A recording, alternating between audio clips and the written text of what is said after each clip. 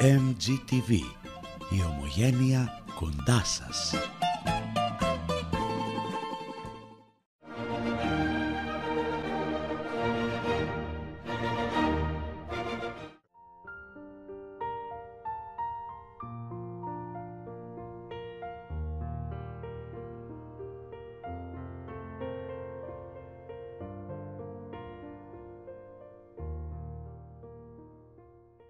President of the Hellenic Medical Society. I am so proud that he honored us with his presence, and he is this year's distinguished Hellene. Congratulations to Dr. Diamandis. We look forward to all of your success. So, tonight is the Scholarship Symposium 2018 for the Hellenic Medical Society. I, myself, have never, ever been more excited to hear anyone speak. And you too will know what I'm talking about after he's done. I hope you stay to watch the whole presentation. Peter Diamandis, Dr. Peter Diamandis, entrepreneur, engineer, physician, is absolutely the role model that makes us proud to be Greek, proud to be a human being, proud to be a product of scholarly work and imagination. I think you will absolutely be amazed with the talk that you are about to hear. I'm the uh, chairman of scholarship for Hellenic Medical Society. Great uh, another year to be able to provide scholarships to our Hellenic medical students uh, and students of uh, Greek descent. Uh, we have an incredible evenings. We have more new students. We have high school students. We see the, the future of medicine for the Greek descent people going extremely well. We have Dr. Diamandis from X Prize Foundation, an inspirational speaker and somebody that we aspire to be just like one day. And we hope that uh, tonight will be, like every other year, a success. And we uh, look to the future, to our future students, and all the great things that they could do, and how they're going to make us proud one day. Thank you. Good evening, and welcome to our 82nd Hellenic Scholarship event. Uh, we are very honored this evening to have Dr. Peter Diamandis, um, founder and president of the X, X Prize Foundation and Singularity University, come and be our speaker this evening. And we will also be giving scholarship award to our medical students, college students, research scientists, and high school students. Uh, congratulations to all of them. We're very delighted to be here tonight. As we said before, this is what we all do, what we do. Uh, the reason that we we do these is for these people here, because we know one day they're going to become the future.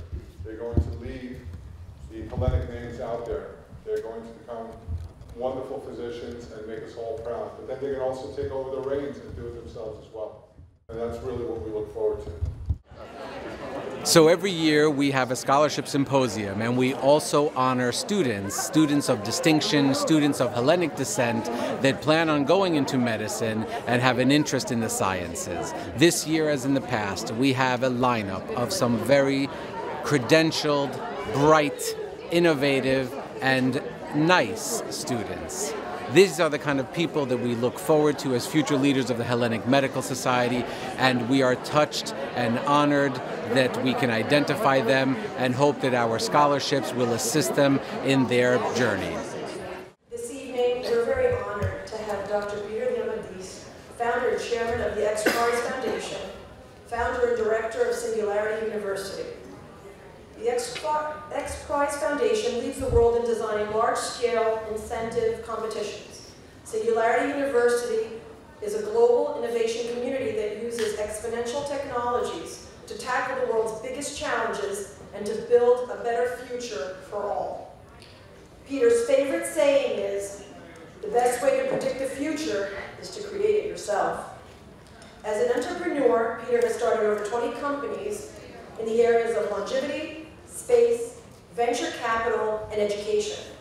He has co-founded Bold Capital Partners, a venture fund with $250 million investing in exponential technologies.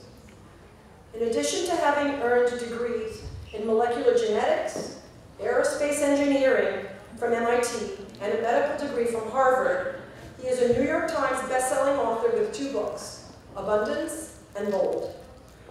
Fortune magazine recently named Peter Diamandis as one of the world's 50 greatest leaders. Peter, it has taken approximately two years to get you here, but we are all delighted that you have to speak with us, you can speak with us here this evening. I distinctly remember where I was standing when I got the email from you that you would be honored and you would accept our award as the Distinguished Hellene this year. I know that the Hellenic Medical Society holds a special place in your heart and in the hearts of those in your family. We are all so very proud of you, your accomplishments, and your endeavors. And without further ado, I present to you all Dr. Peter Gillenbees. Good evening, everybody. Uh, it is a pleasure to be here, and uh, I grew up coming to this event, uh, to tomorrow's event. My sister and her husband met at this event. How many years ago? 32-ish years ago? Amazing. So, a lot to say, um, but let me jump in. Uh, my, my goal here is to give you a sense of how amazing the world is, uh, how incredible the future is we have.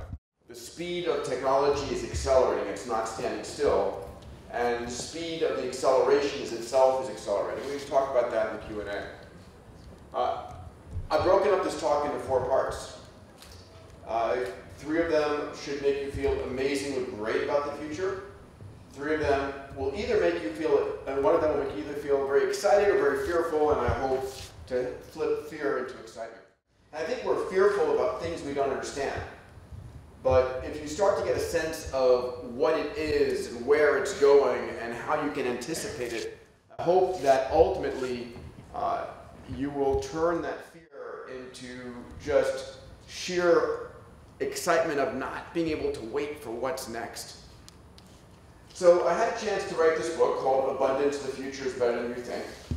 Uh, it was a top New York Times list about, know, seven years ago now, and I was the closing speaker at uh, the Clinton Global Initiative about, you know, not far from here.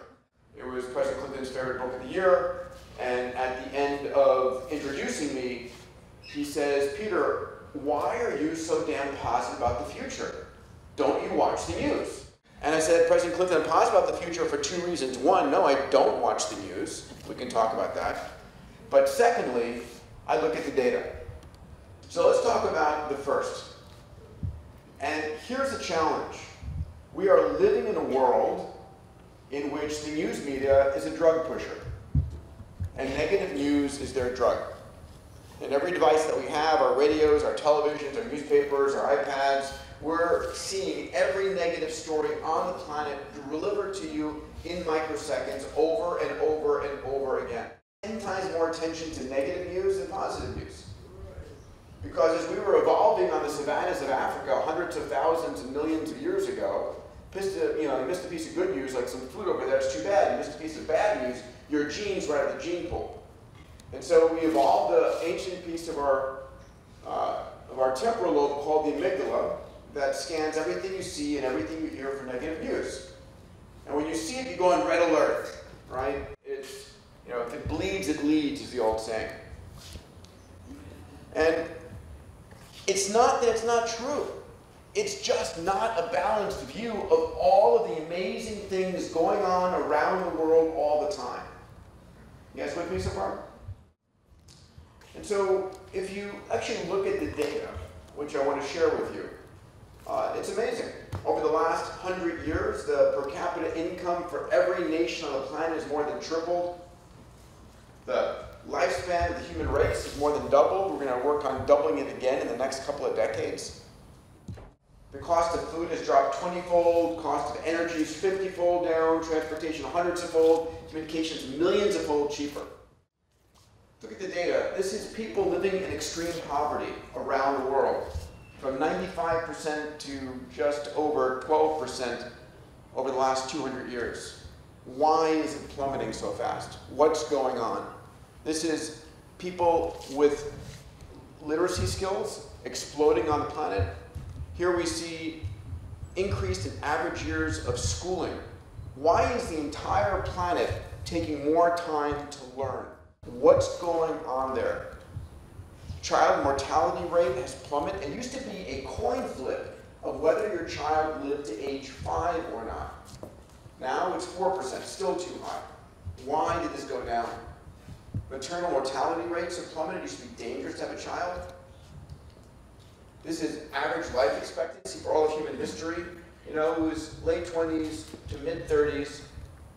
100 years ago, it was, you know, roughly 40 years old. We've doubled it. People are worried about, you know, overpopulation of planet Earth. I would say don't be. Be worried about underpopulation of planet Earth. Know, this is what's going on in the United States. We're now below the replacement birth rate levels in the US. Uh, Bill Gates has two great TED Talks in which he shows us that actually we're going to probably peak at 9.5 or 10 billion and very rapidly plummet. You do two things to a population and you make that population reduce, reduce its growth rate pressures. Anybody know what they are? Just go away. Throw them out. Education is one. What's the other one? Come on, group of doctors. No? Healthcare. Healthcare. Healthcare and educate, you do that, and, and countries, nations, cities go into negative decline. We can talk about that if you want. In the 1950s, 100 countries had six or more children per family, and look how rapidly it's plummeting over time. This is hours worked per week in the developed world. We're actually working half as many hours. I know you don't, but the rest of the world does. Uh, to maintain our standards of living. Why? Why is that going on? Well, the fact that France has the least hours worked. This is airline safety in the orange line over there, right? It is the safest mode of transportation on the planet. Unless you're watching CNN, the Crisis News Network, watching the crash over and over and over again. I get a call from my mom saying, Peter, stop flying so much. Mom, it's the safest mode of transportation. Look at the data. At Blue Line is automotive fatalities, 1.3 million around the world, still too high. We'll talk about autonomous cars. Global death rates from natural catastrophes are you know, plummeting in the 60s, 70s, 80s. Why? Satellites on orbit, better computer models, ability to get help. Right? This is from Steven Pinker's book, Better Angels of Our Nature, in which he shows us we're actually living during the most peaceful time ever in human history. And I don't think anybody would really know that, right? Because we're bombarded by every single murder on the planet over and over and over again. It is exhausting. Let me share with you a short video from a friend, Fareed Zakaria. Uh, I make fun of the Crisis News Network or the Constant Negative News Network, whatever you want to call it, but let's take a look at this about, from uh, about 15 months ago. Let me try to present the broader trends to you in a series of graphs produced by Harvard's Steven Pinker and Andrew Mack, published in Slate. If you are terrified by the massive rise in terrorism you hear about, here is the chart detailing mass killings and genocides, which includes all Islamic terror. Since 1945, as you can see, it is a stunning decline with a small uptick, which is almost entirely in countries like Syria, Iraq, and Nigeria. We have data on civilians killed since 1988, and here's what that chart looks like. Here are some other charts worth looking at on the decline in homicides in America and the world, on the victimization of children, a huge drop, on the decline of rape in America. And one more chart, this time from Pew. The net migration from Mexico to America since the Great Recession has been zero. Yes, zero. So the question ultimately is why are these trends the last 200 years going on? Why have they been continuing? What's going on? And I would say that it's not because we've gotten smarter, it's not better politics. It's, in my mind, and in the work that I do with my, my university and my X Prize, it's the impact of exponential technologies. It's technologies taking what used to be scarce and making them abundant. Let's talk about this is part two. It's the notion that there is nothing truly scarce. That technology is the force that takes whatever was scarce and makes it abundant over and over again. So let's take a look. I open, uh, opening story of my, my book Abundance is taking place in the year 1861. Napoleon III is inviting over to dinner the King of Siam and the Palace of Versailles, and to demonstrate how wealthy he is, Napoleon feeds all of the troops with silver utensils. Napoleon himself eats with gold utensils. But the king of Siam, the royal guest, is fed with aluminum utensils. And it turns out that this year, in the 1860s, aluminum was the most precious metal on the planet. More than gold and platinum, which is why the tip of the Washington Monument that was built in that same decade, the capstone is aluminum. Even though the Earth is 8.6% aluminum on the crust by weight, all the aluminum is bound with oxygen and silicates to make this thing called bauxite. And it was so energetically difficult to extract the aluminum from bauxite, it was worth more than gold and platinum. And then in France, the United States, the same year, in fact, the same month, two scientists discovered how to use electrolysis to remove aluminum from bauxite. It went from being very rare, very expensive, to effectively free and available to everybody. Here's another example. Uh, a friend of mine in Silicon Valley has a company called the Diamond Foundry. And it has a, a machine about the size of a large refrigerator. In one end comes methane, water, and electricity. Out the other end comes perfect diamonds. And so what else do you think of as scarce? What is, you know, De Beers has taught us about the scarcity of diamonds and the value of diamonds. But I want you to imagine the notion that you know these machines can make 6, 8, 10, 12 carat diamonds. How large, you know, large would you like it? You know, would you like imperfections or color? You can add that. Right? So again, what do we think of as truly scarce in our world? Um, energy, water, healthcare, learning? No. I'll talk about some of these. All of these, in my mind, are becoming more and more abundant, eventually at near zero cost. So let's talk about energy. Um, we used to go and kill whales to get oil to light the night so we could read. Then we ravaged mountainsides to get coal. Then we drilled kilometers under the seafloor. Right?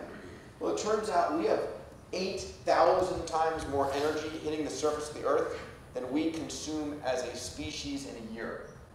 Energy is not you know, scarce, it's massively abundant. Maybe not in usual form yet. So last year, the price of coal was five to six cents per kilowatt hour. Right? In Mexico, it was, solar was 2.7. In Abu Dhabi, it was 2.4. In Argentina, it's 2.1. We're heading towards an all-electric economy. Right? We're going to get rid of, destroy, let go of, stop using petroleum, coal, all those hydrocarbons. Uh, it was a it was a member of the Saudi family who said that the Stone Age did not end for a lack of stones. Either will the petroleum age end for a lack of petroleum. This is a gigafactory in Reno that uh, Tesla has built. It's producing 35 gigawatt hours of battery capacity, more than the entire world put together.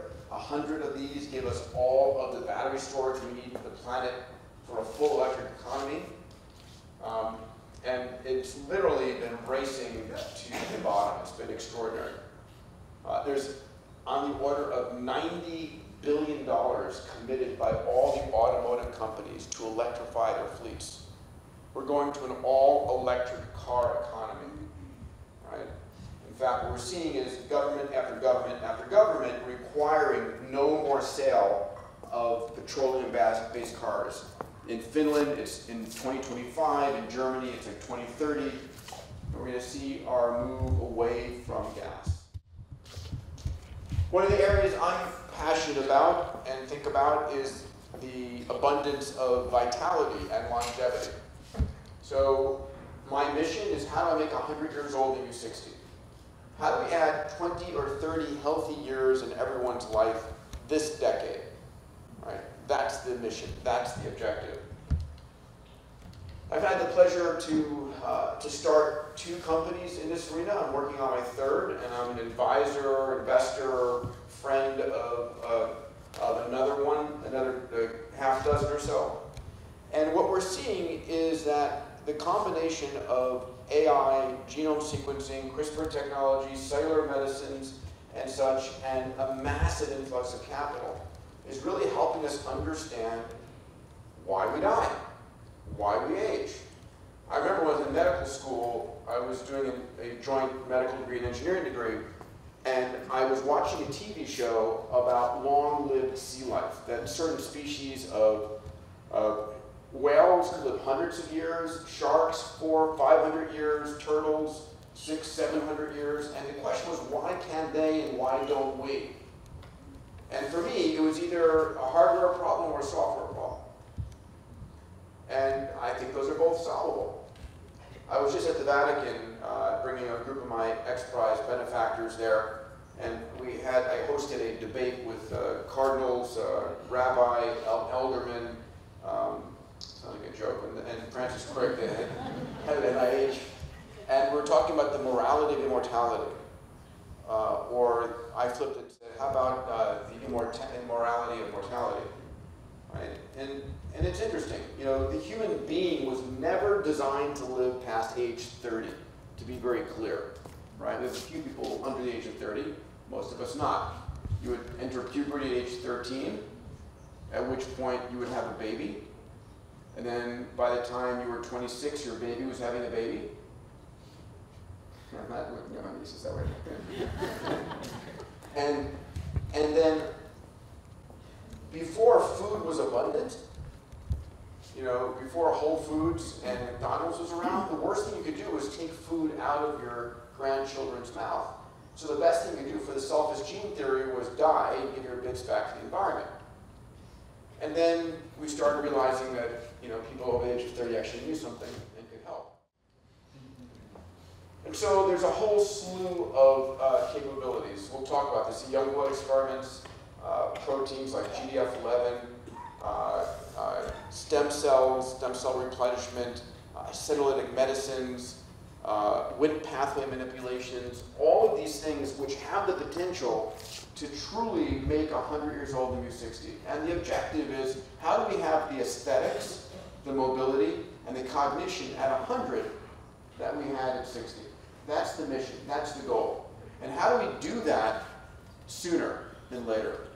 Uh, Ray Kurzweil, my, my business partner and a dear friend, co-founder of University, and a guy named Aubrey Grey have a concept they call longevity escape velocity.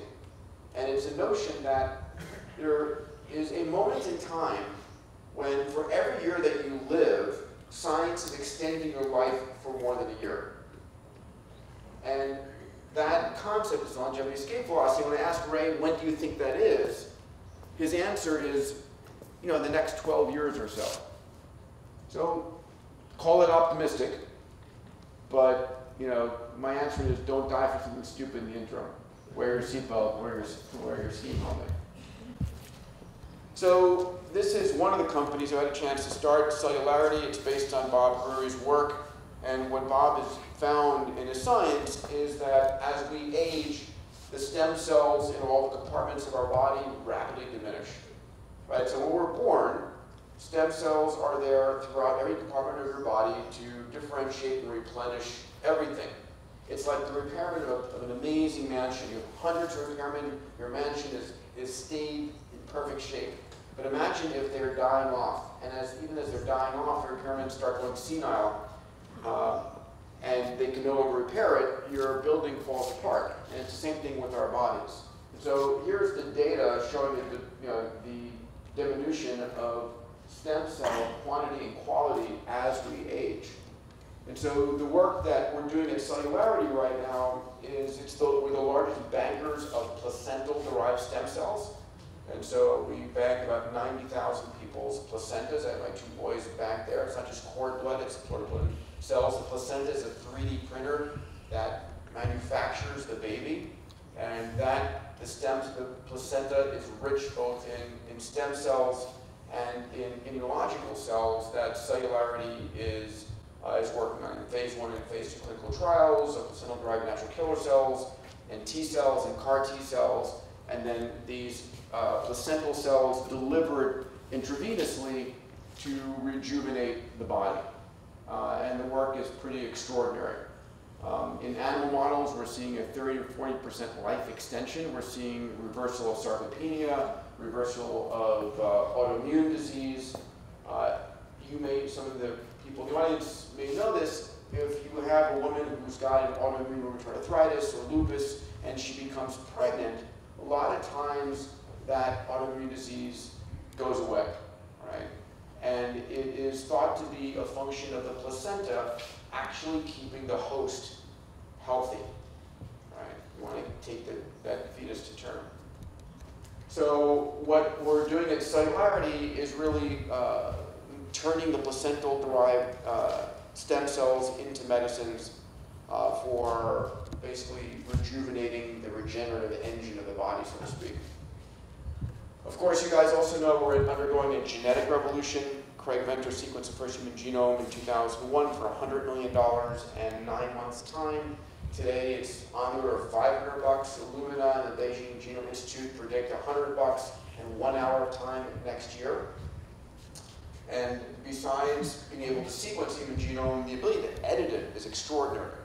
Uh, CRISPR 2.0 coming out of MIT and Harvard, the notion that you go in and accurately just change a single nucleotide out of your 3.2 billion. And people say, well, what good is one letter going to be? Well, one letter causes 32,000 and 50,000 diseases are due to single point uh, mutations.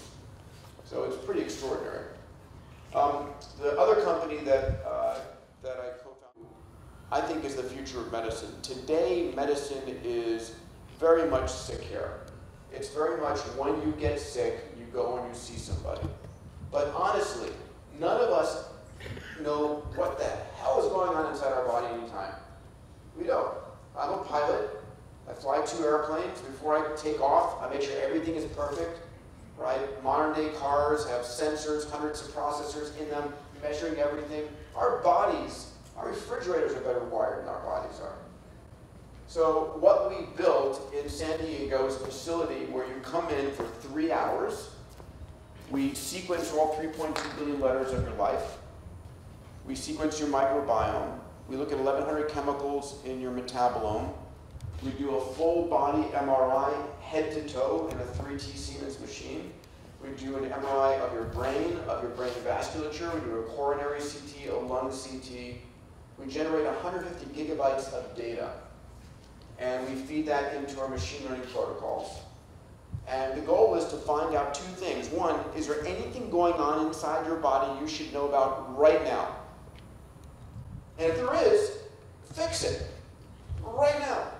And people say, I don't want to know. Bullshit, of course you want to know. You want to know, you want to fix it right now. The second thing you want to find out from your genome is what are you likely to come down with? And then start watching for that more frequently. Right? So this is a prospective, personalized uh, form of medicine. Um, here's the results. Uh, you know, we started this as a $25,000 per visit experience. And it, it, was expensive. We lowered it down to 5,000 for the first visit and 3,000 for every subsequent visit. But here's the first 1,200 patients. 2% of people, two of you in the room here, could have personalized it, have a brain or aortic aneurysm you don't know about. 2% of a high-grade uh, cancer or uh, tumor. 3.4% um, have cardiac-related and so forth. Right? 14.4% of people come and have symptoms that they need to know about and take care about now. And another 40% have symptoms or have, uh, have phenotypic or genotypic uh, um, elements that they will impact them for the medical care of the rest of their life. Right? So this is a flip of how we're, how medicine should be. Eventually this will be a continuous process. We're continuously being monitored all the time. But Right now, this is where we're based in San Diego. We're opening a clinic this next week in Naples, Florida, then hopefully in Boca, and we'll be opening around around the, uh, around the world, except New York, which has strange laws. Um, if anybody's interested, by the way, it's just vip at healthnucleus.com. You can send an email. My team, I just when I lecture, I talk about it. It costs us a lot more than the 5,000 bucks we charge you. The price will eventually come down internally, but for us right now, it's the data. All right, let's talk about, um, about, this is part three. This is the part that gets me excited and scares a lot of people. It's like what's going on in AI and robotics? Where are we right now? How is this going to change the world?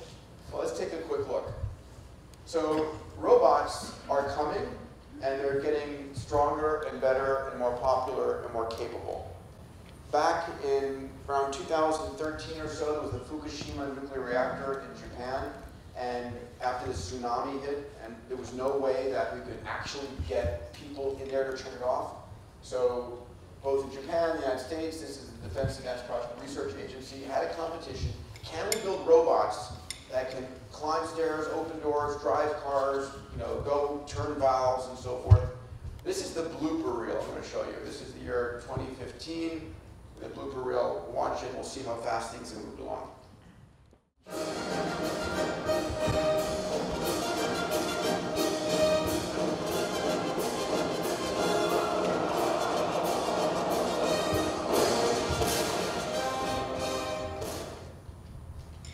So that's 2014. Let's fast forward, or 2015, fast forward a couple years. This is Boston Dynamics robot called Atlas. Boston Dynamics run by a friend of mine, Marc Raibert. Used to be owned by Google. Google sold them to, uh, to SoftBank in Japan. Why did a Japanese company buy this robot company? First of all, Japan doesn't have a replacement generation. An aging population, don't have a workforce. And so the question is, can robots provide the labor? So this is 2017.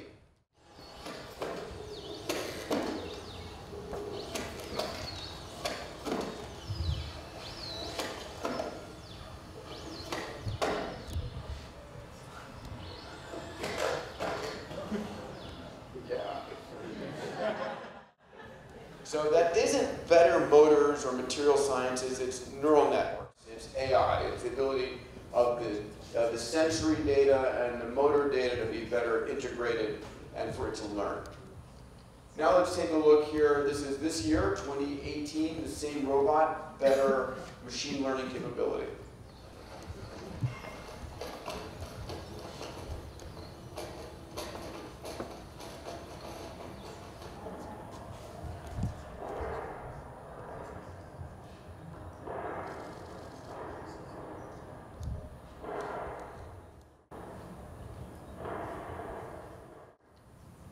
Pretty amazing. This is another robot. This is Google's autonomous car. Uh, I've had the honor of having Larry Page on my board for the past uh, 13 years, and I knew him when he became very excited about autonomous cars.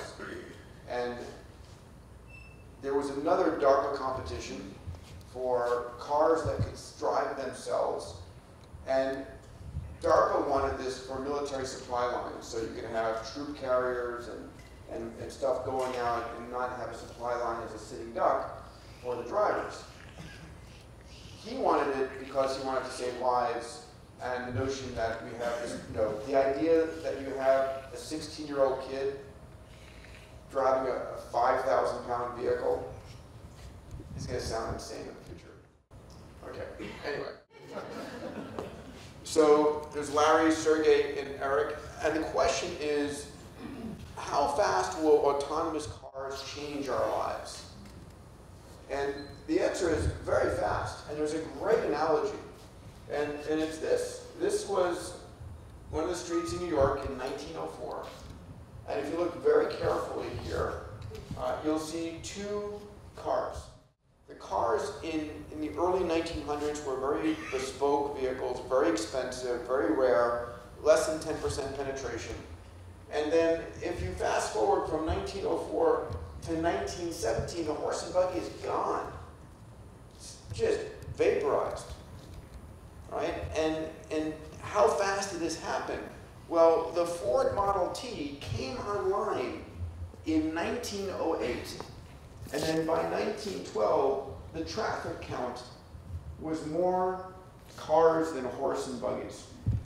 And if you read the articles back then, you know, it was pretty intense.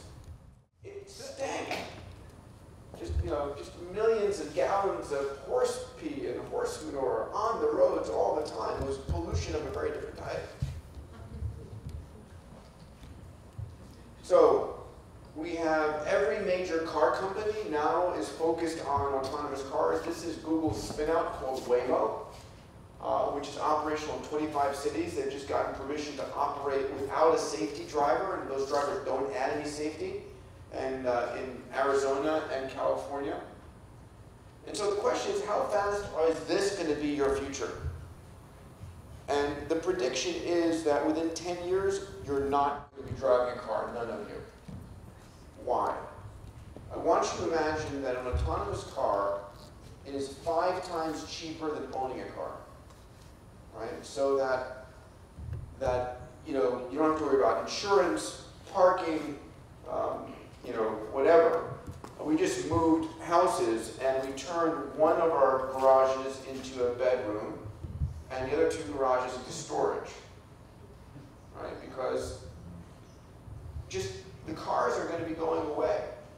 There's a future in which, you know, you are at breakfast, you get up from breakfast, you're walking towards the front door, your AI knows your schedule, knows where you're going.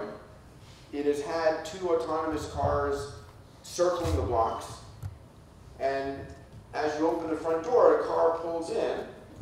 Um, I have an Oura ring that I use.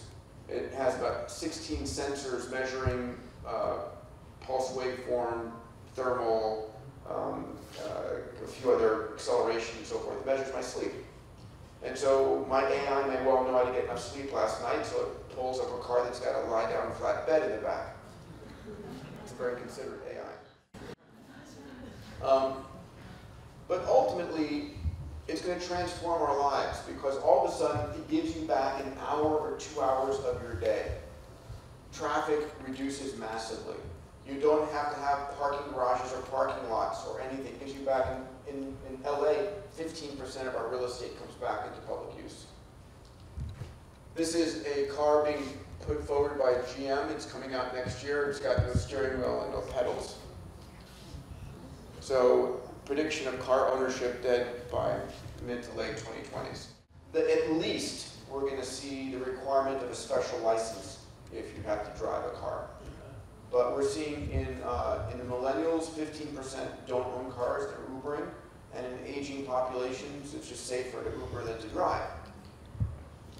All right, so that's a little about robots. And there's going to be, God knows, 1.6 million drones airborne by 2021 over the United States. Drones are robots, delivery drones, all kinds of things coming on. Let's talk about AI.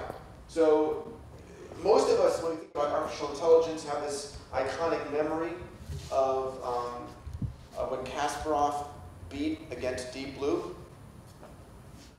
in 1997.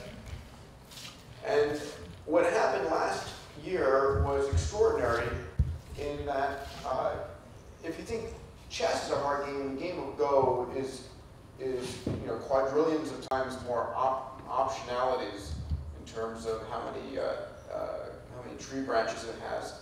Well, Google built a program called AlphaGo, and AlphaGo won against the top champion of, of Go, Lee Sedol, 10 years before it was predicted.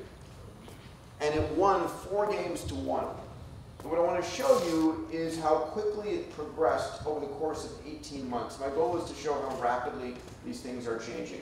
So you're going to hear a, present, a short video from the guy who designed the AlphaGo program as part of Deep Blue, one of Google's companies. I'm sorry, as part of uh, DeepMind, one of Google's companies. AlphaGo Zero is the strongest Go program in the world. It outperformed all previous versions of AlphaGo.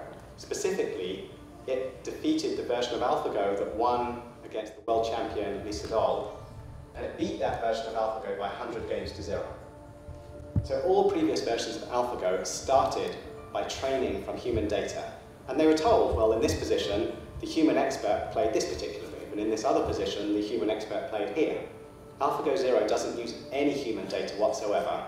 Instead, what it has to do is learn for itself, completely from self-play.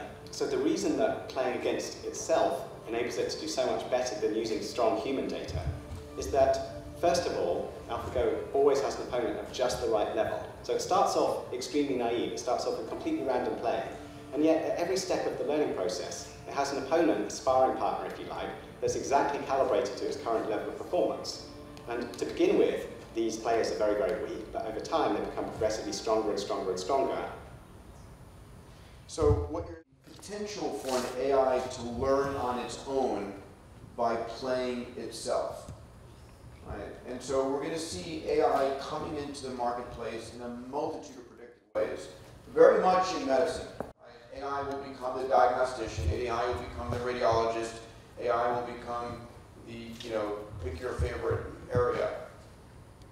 And medicine is going to change very rapidly. And it's how you change with it, what a physician does versus what an AI does, right? What I talked about when, uh, in a previous presentation when my, when my father passed, um, you know, I remember there was a cardiologist, there was a, uh, there was a, a neurologist, there was an orthopedist, there was basically every specialty there looking, but who was there watching the whole person?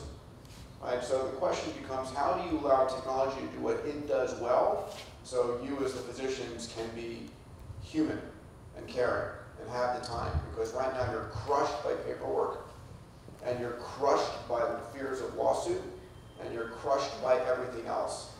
And it's very different as a medical field, um, the field of medicine ever before. This is uh, another AI program that is uh, driving these robotic arms.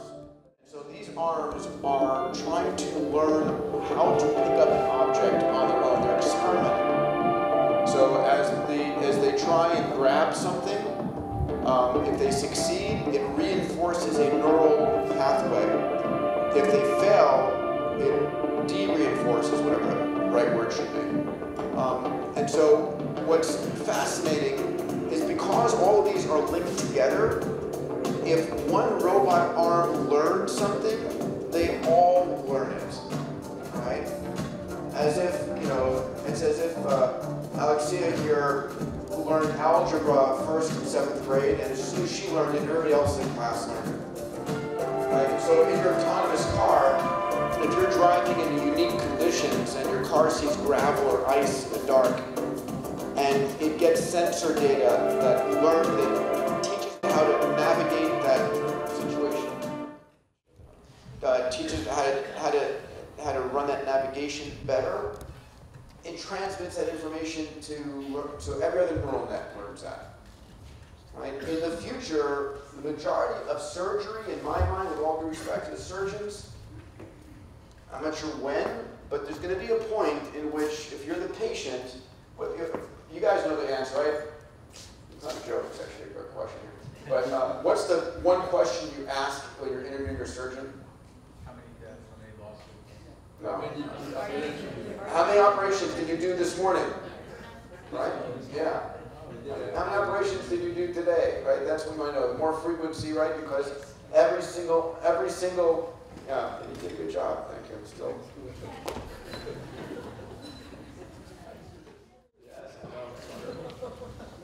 Um, so how many operations you do this morning? And so at the end of the day, it's the frequency at which you do this, the number of conditions you see, the aberrations, the AV malformations, everything you see. There will be a point at which an op robot oper a robot operating system will see millions of these. Right? So you see the human walking towards you, go, no, no, no, I do not want the human touching me. I want the robot that's done it a million times. So there's going to be changes coming. And how do you work with that technology? AI is able to read faces. This is out of China. This is Face++. Plus that can, in fact, um, recognize any of the 1.3 billion Chinese citizens in under three seconds. Uh, AIs can read facial recognition on emotion, uh, on, on fear, on excitement, on whatever it might be has everybody here seen Google Duplex? Can I just see a show of hands? Who has not seen the Google Duplex AI making a hair salon appointment? Who's not seen it? Okay, I'm going to show it. All right. So this is an AI. This is a Google Assistant that is expert in making a phone call to make an appointment of some type. And this is was shown about six months ago at Google's I.O. conference and you're going to see this AI calling an unsuspecting hair salon. Take a listen. How can I help you? Hi, I'm calling to book a women's haircut for a client. Um, I'm looking for something on May 3rd. Sure, give me one second. Mm-hmm. Sure, what time are you looking for around? At 12 p.m. We do not have a 12 p.m. available. The closest we have to that is a 1.15. Do you have anything between 10 a.m. and uh, 12 p.m.? Depending on what service she would like, what service is she looking for? Just a woman's haircut for now. Okay, we have it 10 o'clock. 10 a.m. is fine. Okay, what's her first name? The first name is Lisa. Okay, perfect. So I will see Lisa at 10 o'clock on May 3rd. Okay, great. Thanks, great. Have a great day. Bye. So the implications are pretty interesting. Uh, there was a lot of outcry about that, saying that, and now Google's duplex system identifies itself as a Google Assistant before it calls. But we're going to start to see AIs facilitating our lives in a multitude of ways. Um, but when it becomes so human-like and so um, unsuspecting, right? People are calling for laws that are requiring AI to identify itself as a computer. That's good for those who agree. Here's another AI. This is uh, out of New Zealand. This is called Ava. Uh, she is a virtual human, uh, an empathic virtual human. And this is an AI that's able, it's a, it's a visual AI, which is a video, uh, that can pick up your emotions, if you're sad, if you're happy, if you're excited, if you're frustrated, and mirror those back to you as she interacts with you.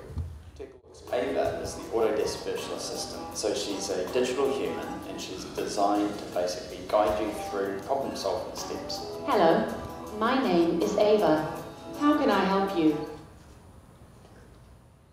So she will become your customer assistant at your front desk of your medical office, uh, remembering everybody all the time, making it simple. So I want to show you one that, you know, obviously I'm an optimist, but some things do worry me, and this is a technology called deepfake. We're able to replicate people's voices perfectly. There's a couple of companies right now that from five, 10 second clips, 60 seconds of your voice, can replicate your voice to the point where it can fool a voice recognition system. Right? About a few minutes of voice data can fool your husband, wife, mother, brother, whatever it might be. Mm-hmm. But let's take a look at something called the video deepfake. Check this out. This is a dangerous time. Moving forward, we need to be more vigilant with what we trust from the internet. It's a time when we need to rely on trusted news sources. The heart of our method is a recurrent neural network that transforms input audio to a time-varying mouth shape. Now, most of us don't get our healthcare through the marketplace. We get it through our job, or through Medicare or Medicaid. Then, we synthesize mouth texture. And what you should know is that, thanks to the Affordable Care Act, your coverage is better today than it was before. Next, we enhance details in teeth. Now have free preventive care. There are no more annual or lifetime limits on essential health care. Finally, we blend the mouth texture onto a real-time target video and match the pose. Women can get free checkups, and you can get charged more just for being a woman. Uh, here we go. Uh, President Barack Obama, uh, when you uh, giving a speech, uh, make sure you use uh, a lot of pauses and speak uh, in a very weird tempo. Up and down, uh, down and up, up, up, down, down. The point there is both of those were uh, were individuals obviously speaking, but the AI was was forming the video. Uh, and being able to create a video of anybody, and, and you need you need a few hundred hours uh, to train the machine learning neural nets how to create that video. And so the politicians and most famous people who got a lot of video coverage will be easily spoofed. Um, and so it's heading, one of the challenges, of course, is going towards a post-truth or a fake news future. And yeah, that does concern me. But just share with you a little bit where things are, are going. but if you thought things were moving fast, hold on because they're moving even faster than you think. So uh, Ray Kurzweil, who if you know him, is considered one of the smartest thinkers in the field of AI on the planet. He heads AI now for a large segment of Google. Um, uh, he's my co-founder of Singularity University. Uh, he has written a number of books. His prediction success rate is 86% for predictions that he makes of when something's going to happen, when when Kasparov is going to, when when be beat, when Go is going to be beat, the first autonomous cars, all of those things. He hits them to the year. And one of his predictions is number one, we're going to have human level AI by 2029. Time check, that's 11 years from now. And that we're going to have brain computer interface by 2035, meaning that we're going to be able to connect your neocortex to the cloud. Right? So if you want a billion times more memory, you got it. You want a million times more cognitive capacity, right? Because right now, your phone is basically doing some computation here, but the hard stuff goes over the over you know 4G to the cloud, gets processed, and the answer comes back. So the concept of the computer brain computer interface. So my friend Bryan Johnson has committed $100 million of his capital and is focused heads down on connecting the brain to the cloud, as has uh, Elon with Neuralink. My venture fund has investment in this woman, uh, Mary Lou Jepsen, who um, was heading VR at Facebook, at Apple, at Google, uh, and she's using red laser light that can penetrate skin and skull and go down into the brain, and then the refraction, the reflection, refraction of red, that red laser light and holography to be able to interrogate neuron by neuron level. It's amazing. Uh, we just were one of the lead investors in the last round. So I'm going to show you a short video with me and Ray Kurzweil from a year ago at my event called Abundance 360. Uh, we're going to connect our neocortex to the cloud. Now you could say that this is already a connection, it's indirect, my brain directs my fingers, and the information goes into my brain through my eyes and ears. Uh, but ultimately, uh, we're going to make a direct connection from our brain wirelessly to expand that number of 300 million. Now this is interesting in that it's billions of times more powerful per dollar than the computer I used when I was a student. But I connect, but that's not the most interesting thing about it. If I want to multiply it a thousand or a million fold, it connects seamlessly and wirelessly to the cloud. Suddenly I can use 10,000 computers to do some complex operation. We can't do that yet directly from our brain. There are people who have computers in their brains like Parkinson's patients. Those are expanding exponentially, but ultimately we'll, I mean, that'll be the primary application of these nano robots coming 2030s, is to directly connect our neocortex to synthetic modules in the cloud that uh, use the same algorithm. So, it, for example, at Google, uh, we're, we're, implementing synthetic neocortex. Watson includes uh, similar algorithms. So, you know, I'm walking along and I see, oh, there's Peter Diamandis. I got to think of something clever to say. I've got two seconds. My 300 million neocortical modules isn't going to cut it. I need 3 billion first, two seconds. I'll be able to access that in the cloud. And we'll become a hybrid of biological and non-biological thinking. That's the primary application uh, I see of AI. So, when we talk about the future, uh, we are and have always been converging and merging with technology. Right? Humans were never meant to be flying at 45,000 feet at 800 miles per hour or driving or living as long as we are. We have been using technology to extend our reach, our capability, and we are in the process over the next 20 years of beginning to manipulate and merge it, merge with it. All right, I'm going to finish with uh, part four, which is a belief I have that there is no problem we cannot solve. Uh, that we have in our lifetimes the ability to uplift every man, woman, and child on this planet, period. Uh, I grew up passionate about space. I was born in the 60s, loved Apollo. It showed us what was possible. It's hard to believe this was 49 years ago. Insane. And this showed me where the human race was right now. And then this scientific documentary showed me where the human race was going. Thank you for your groans. And I, you know, wanted to become an astronaut, um, much to the dismay of my parents. I wanted to become a doctor. We'll talk more about that tomorrow night. Uh, and, uh, and at the end of the day, uh, I read about this guy, Charles Lindbergh, who in 1927 crossed from New York to Paris to win a $25,000 prize. Uh, a Frenchman, Raymond Orteig, born under the Pyrenees Mountains, comes to America um, through you know, Ellis Island, becomes a hotel busboy, then a hotel manager, then a hotel owner of Hotel Lafayette.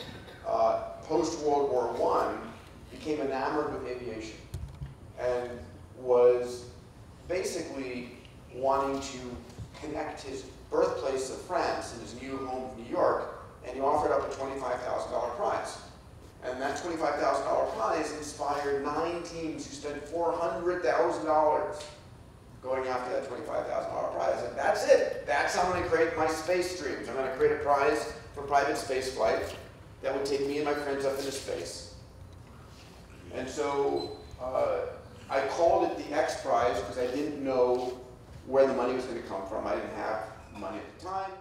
And at the end of the day, it was a $10 million prize. For the first team would build a spaceship carrying three adults up to space, land, and within two weeks make the trip again.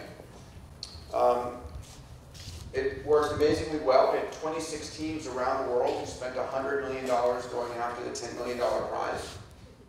They're all optimists.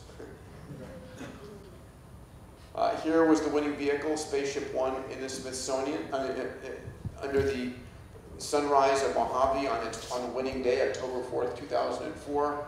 Here she is in the Smithsonian, right next to the Spirit of St. Louis that inspired it in the first place. Uh, on the heels of that being won, uh, Richard Branson came in and committed uh, a quarter of a billion dollars to commercialize that vehicle and create Spaceship Two. Uh, I'm lucky I have a seat to fly on that vehicle. I'll fly hopefully the next year or so. Yeah, my mom goes, oh.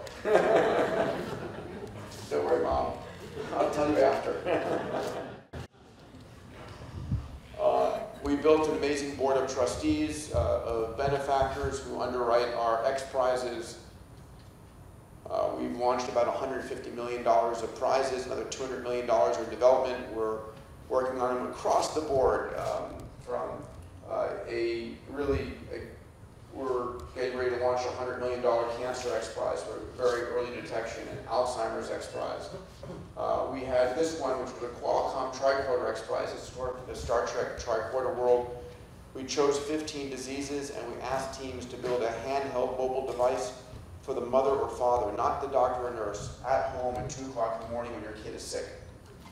Um, awarded that last year. This is going on right now. Uh, this is a prize that Elon Musk has funded for $15 million, and then the DeVos family and our friend Tony Robbins.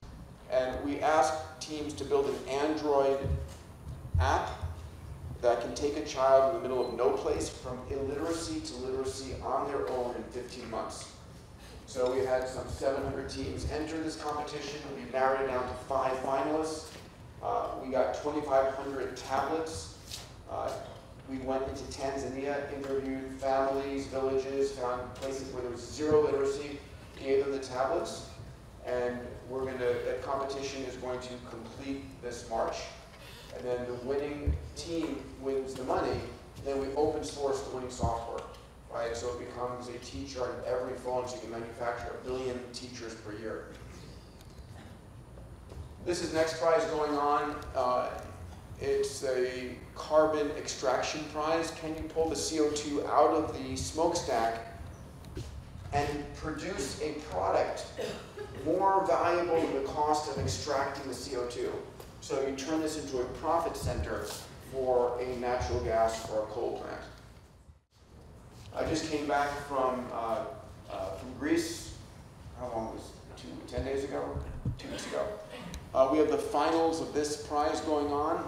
So we know more about the surface of the moon and the surface of Mars than we do the ocean floor. We've mapped less than 5% ocean floor because the physics of salt water makes it so difficult for radio frequency and light to penetrate.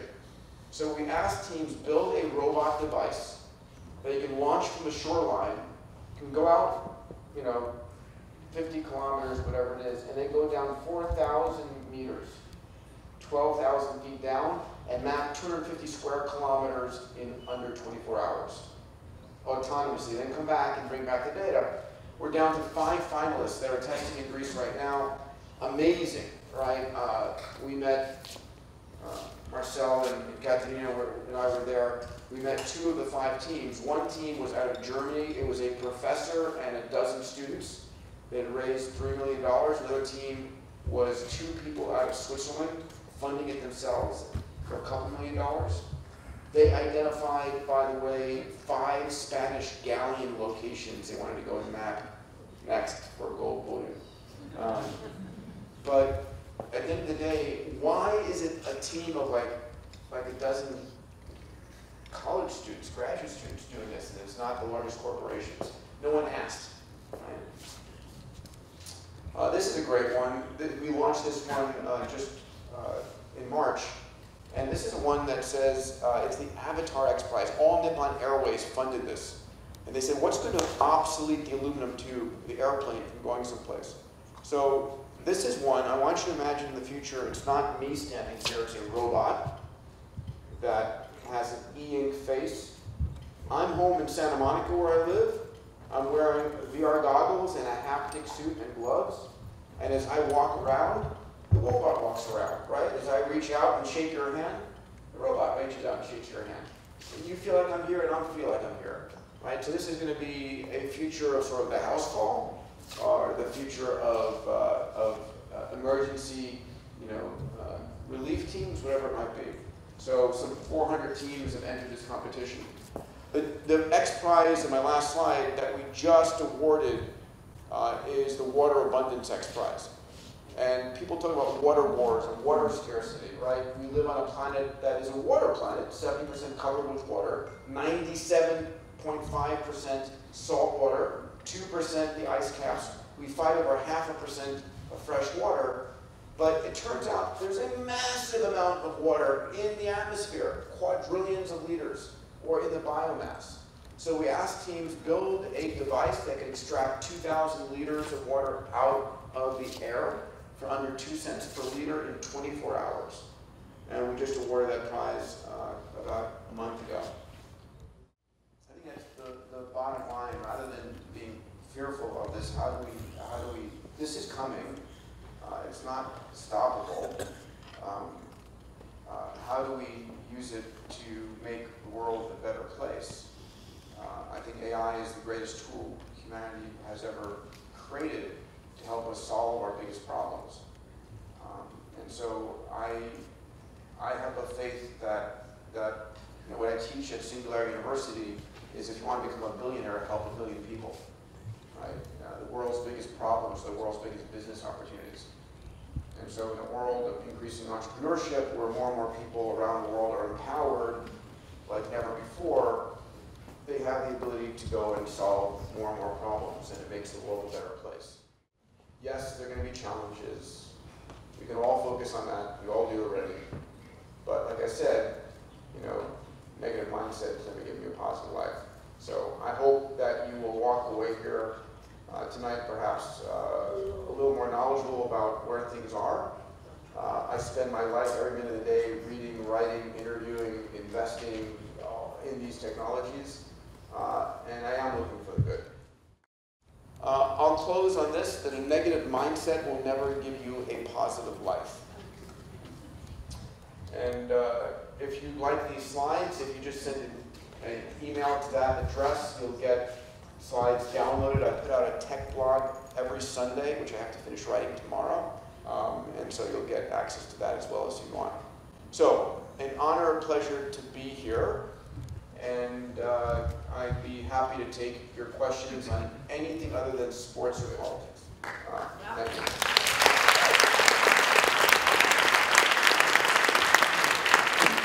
You say? You know, end on that. I know there were a few questions you can ask uh, Peter or Dr. Diamandis uh, directly, but what can we say?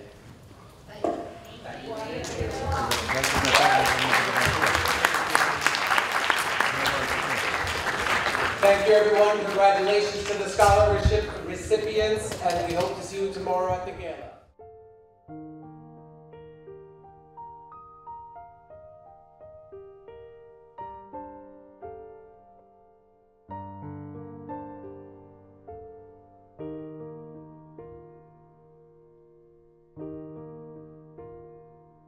Peter Diamandis, Dr. Peter Diamandis, entrepreneur, engineer, physician, is absolutely the role model that makes us proud to be Greek, proud to be a human being, proud to be a product of scholarly work and imagination.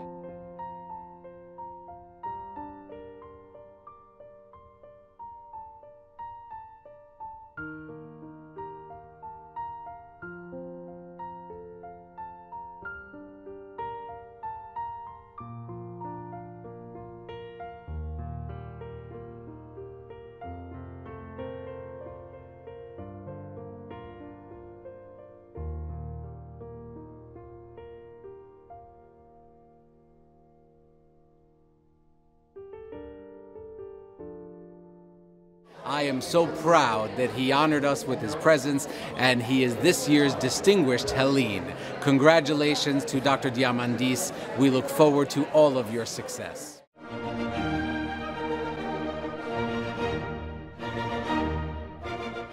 MGTV USA. Οι δραστηριότητες της ελληνοαμερικανικής κοινότητας με βίντεο και πλήρες ρεπορτάζ. Επισκεφτείτε την ιστοσελίδα μας mgtvusa.com. Καλύπτουμε καθημερινά τα γεγονότα στην Ομογένεια.